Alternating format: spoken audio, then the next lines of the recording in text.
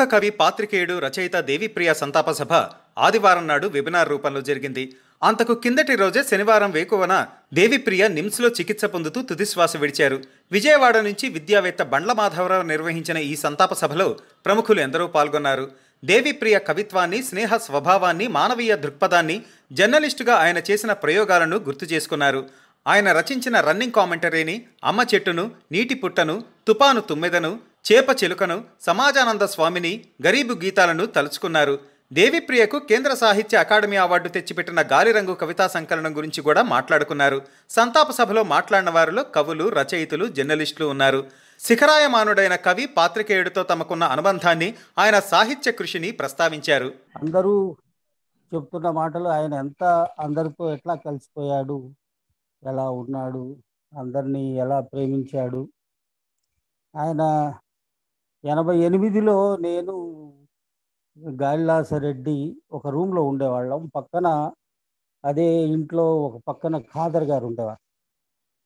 ఎనభై ఎనిమిది నుంచి ఆయనతో ఆయన ఇంట్లో పిల్లల్లాగా నేను ఇప్పటిదాకా ఆయన ఇంట్లో పిల్లల్లాగానే ఉన్నాను. అనేక ఒడిదుడుకులు జీవితంలో అనేక ఒడిదుడుకులు చాలా మటుకు నేను పక్కన ఉన్నాను. ముఖ్యంగా మనోరమ అనే పత్రిక కాలంలో ఆయన పడ్డ ఆ పెద్ద ఒడిదుడుకుల నుంచి కొంతైనా బయటపడేసేటువంటి ప్రయత్నంలో అప్పుడు దేవి థర్టీ అనేటువంటిది నాలేశ్వరం శంకరం గారు నేను మిగతా మిత్రులను కలిసి పూనుకొని కొంతైనా ఆయన బయటకు తీసుకురాగలిగాం. ఆయన నాకు చాలా ప్రపంచాన్ని పరిచయం చేశాడు. ఆయన కేతు విశ్వనాథ్ రెడ్డి హరిపురుషోత్తమరావు గారు డి. వెంకటరామయ్య గారు కంఠంనేని రాధాకృష్ణమూర్తి గారు బి. నరసింగరావు గారు పతంజలి గారు నామిని గద్దరు వీళ్ళంతా దేవిప్రియ ద్వారా పరిచయమైన వాళ్ళే. ఆయనకి ఆయన రుణం చాలా తీర్చుకోలేం. నాకు అన్న ఆయన అన్న. నన్ను యాకు అని తమ్ముడు అని వాళ్ళ అమ్మగారిని చూడడానికి తాటికొండ ఎనభై ఎనిమిది అంటే తొంభై తొంభై ఒకటి రెండు వేల సంవత్సరం వరకు నాకు కొంత సమయం ఉండేది. ఆ తర్వాత నాకు బాధ్యతలు పెరిగాయి. కొంత ఎక్కువ సమయం ఇవ్వలేకపోయాను. వాళ్ళ అమ్మగారిని చూడడానికి గుంటూరు ఆయన చదువుకున్న స్కూల్ తాడికొండ. ఆ తాడికొండలో ఆయన ఉన్న ఇల్లు అవన్నీ కూడా వాళ్ళ నాన్న పోలీస్ ఉద్యోగము వాళ్ళ సిస్టరు బ్రదర్సు ఆ కన్నీళ్ళు. ఆయన తీసుకునే బ్యా బ్యాంకు లోన్స్. దానికి సెక్యూరిటీగా నేను ఉండడాలు లేదా నేనే లోన్స్ తీసుకొని ఆయనకి ఇవ్వడాలు. ఇవన్నీ పెద్ద ఆయనకు నాకు అన్న కాబట్టి నా ఆయన కుటుంబంలో నేను ఒక సభ్యుడిలాగా ఉన్నాను. అందుకోసం సరే ఆయనకు నేను చేసింది పక్కన ఆయనకు నేను ఎంత ఉపయోగపడ్డానో పక్కన పడితే ఆయన నాకు జీవితానికి సరిపోయేంత ఆయన ఉన్నంతకాలం ప్రేమనిచ్చాడు. రాజ్యలక్ష్మి మేడం కానీ ఆయన కానీ ఆ కుటుంబంలో పిల్లలు కానీ చాలా ప్రేమనిచ్చారు. అందుకోసమే ఆయనకి నా నదీ మూలం లాంటి ఆ ఇల్లు పుస్తకాన్ని అన్నం మెతుకు లాంటి అమ్మ చెట్టు దేవిప్రియ అంకితం అని ఇచ్చాను. ఆ తర్వాత ఆయనతో కలిసి త్రి గౌహతి త్రివేంద్రం లాంటి ప్రాంతాలకు కవి సమ్మేళనాలు ఉంటే కలిసి వెళ్ళిన సందర్భాలు ఉన్నాయి. ఆయనతో ఉండడం కానీ ఆయన కేరింగ్ అనేది చాలా చాలా గొప్పగా ఉంటుంది. నేను గమనించినంత వరకు ఆయన్ని అంటిపెట్టుకొని సరే మనం అందరం ఉన్నాం చాలా మంది ఉన్నాం చాలా మంది అంటిపెట్టుకొని ఉన్నాం కానీ బాగా అంటిపెట్టుకొని ఆయన భరోసా ఆయనకు ఎప్పుడు కూడా భరోసానిచ్చింది శివారెడ్డి గారు ఒక అయితే కె. రామచంద్రమూర్తి గారు.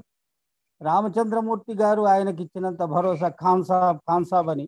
వాళ్ళిద్దరి అనుబంధం గురించి నాకు నేను చాలా విషయాల్లో సాక్ష్యం. హెచ్ఎం టీవీలో ఆయన మధ్యలో ఏమీ లేనప్పుడు హెచ్ఎంటీవీలో తీసుకెళ్ళి తీసుకెళ్ళి రామచంద్రమూర్తి గారు పెట్టారు. బోళ్ళంతా సపోర్ట్ చేశారు రామచంద్రమూర్తి గారు ఆయన.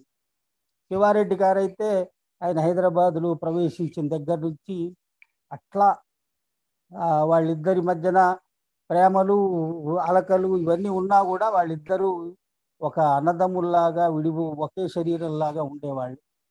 ఇంకొక ఆయన దే దేవిప్రియ గారిని మూగగా ప్రేమించినవాడు.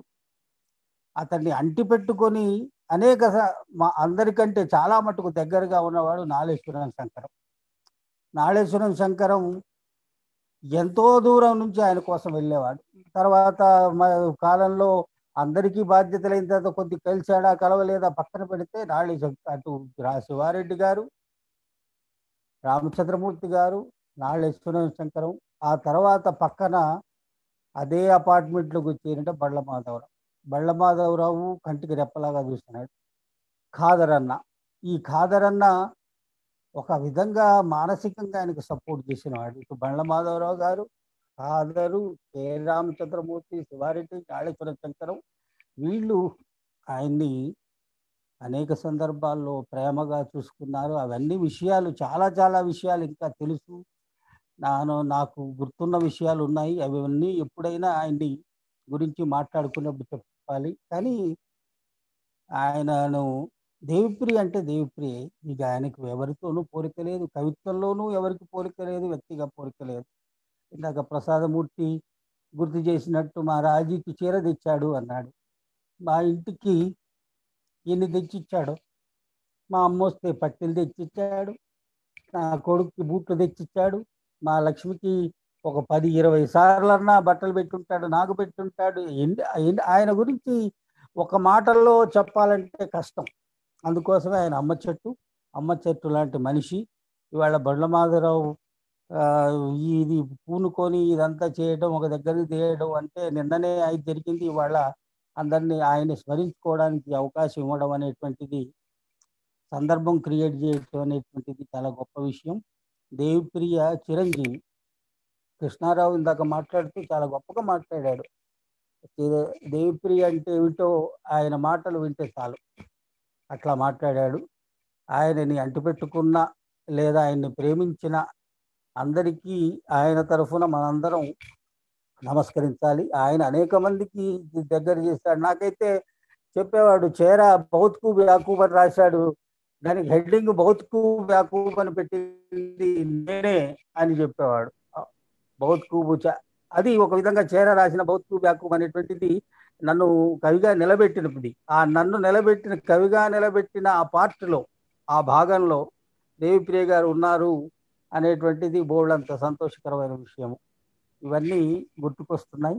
దేవిప్రియ గారికి నిండు మనస్తో. ఈ తర్వాత ఈ సూఫీ ఘర్ అని పేరు పెడితే ఈ ఇంటికి మా ఇంటికి సూ ఈ పేరేం పెట్టాలి? అది సూఫీ అంటే ఇష్టం అంటే దానికి ఘర్ తగిలించి సూఫీ ఘర్ అని పెట్టింది ఆయన ఇంటికి. తర్వాత నా పెళ్ళి సంతకం నా పెళ్ళి చేసుకున్నప్పుడు శిలాలలితను నన్ను మా రిజిస్టర్ ఆఫీస్కి వచ్చి పెళ్ళి పెద్దగా సంతకం చేశాడు. తర్వాత నా చిన్న కొడుకు పెళ్ళి చేసుకుంటే అక్కడ సంతకం చేశాడు. ఎప్పుడు అనేవాడు నీ పెళ్ళి సాహిల్ పెళ్ళి నేనే చేశాను అనేవాడు. ఇంత దగ్గరి అనుబంధం ఈ సందర్భంలో అవన్నీ గుర్తుకొస్తున్నాయి. ఇంకా చెప్పుకుంటూ పోతే చాలా విషయాలు కొన్ని రోజులు పడతాయి ఆ విషయాలు చెప్పడానికి.